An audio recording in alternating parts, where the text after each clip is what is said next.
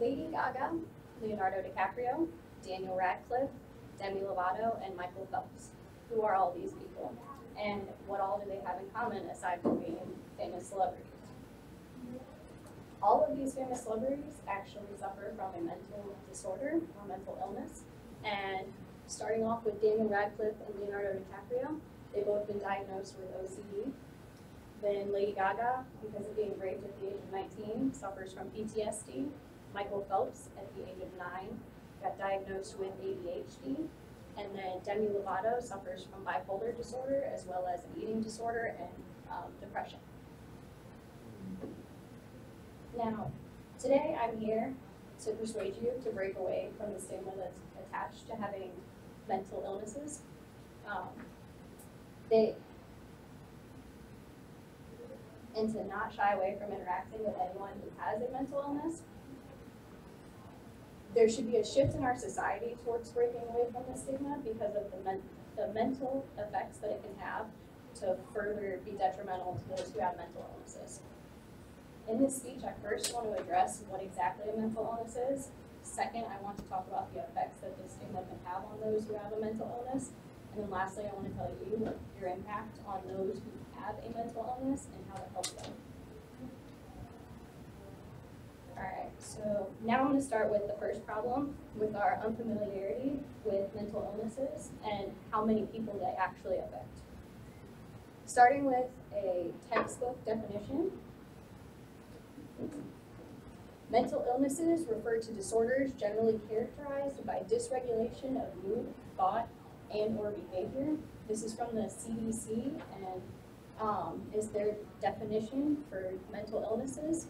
They also began to reference that mood disorders, which can be depression, anxiety, and bipolar disorder, as well as many other disorders, they can um, be present after only two weeks of symptoms. So you could be having like sad thoughts, you could have like being lethargic and not wanting to get up with your day, you could be chronically depressed, but only two weeks is all it takes for you to get a diagnosis of being depressed.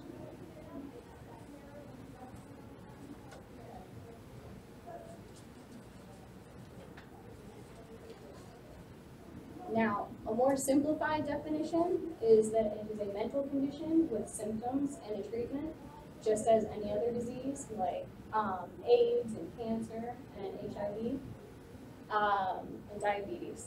The treatments could be medication, therapy, as well as a support system from your work, family, and friends. Most people are not aware of how common mental illnesses are, um, according to the U.S. Department of Health and Human Services in 2014, one in 10 young people suffer from a mental illness or major depression. One in 25 Americans lived with a serious uh, mental illness such as schizophrenia or major depression or bipolar disorder at some point in their life. Now, this fact right here caught me off guard. One in every five people over the age of 18 suffer from a mental illness. This is from the National Institute of Mental Health in 2015. To give you an idea of how much one in every five people is in the United States, it's 43.4 million people. That's a lot of people that are affected by mental illness. All right, now once you understand what a mental illness is and how many people it does affect, it'll help you better be able to help those around you and those who are suffering from mental illness. So for the second problem, we're going to look at and understand the effects that stigma can have on a person's mental health. So to understand stigma, you have to understand what the definition of stigma is, and it's to dishonor or disgrace someone. So it causes someone to feel ashamed.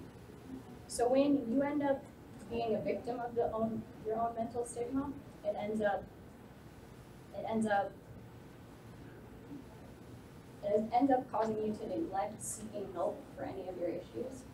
So these people are not going to seek treatment because they fear being like stigmatized and branded by that issue. It also causes you to become distant from your family and friends and causes you to alienate them, further causing you more problems. It causes them to be viewed as weak and being judged, even though they're not able to prevent any of their issues on their own. Alright, so most people, when they're depressed, a lot of people tend to say, just snap out of it. You've got this, you can handle it.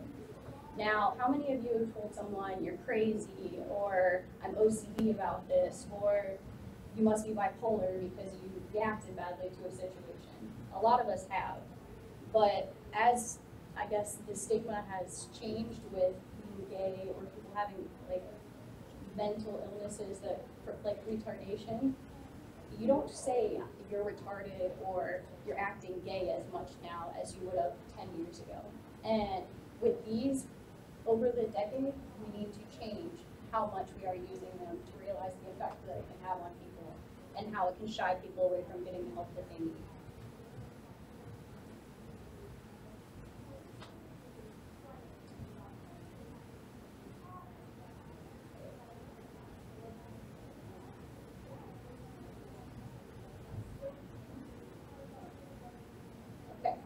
All right.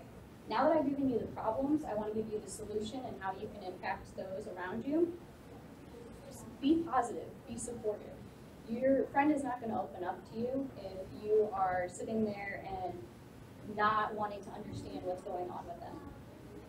If you know someone who's been struggling, try and support them getting help because if they don't get help, then they're not going to be receiving any treatment. Nothing is going to be positive towards the.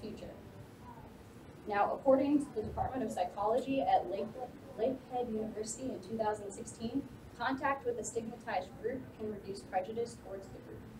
So involve yourself with those people that you think might be suffering. In conclusion, I'd like you to remember that illness can affect everyone. It can affect your best friend, it can affect you, and it can even affect celebrities. It doesn't discriminate. Today, I've gone over the basic understanding that a mental illness um, needs treatment just like any other illness, as well as it is more common than you think. We went over the detrimental effects that the stigma can have over a person and how it can cause them to refuse getting treatment. To tie it all together, I gave you an action step that is starting at the lowest scale, with you simply walking out of this room with an open mind, um, changing your attitude and your outlook on how you view those who are suffering from a mental illness. Mental illnesses are nothing to be ashamed of, and once this is embraced in society as a whole, we begin to change the negative stigma.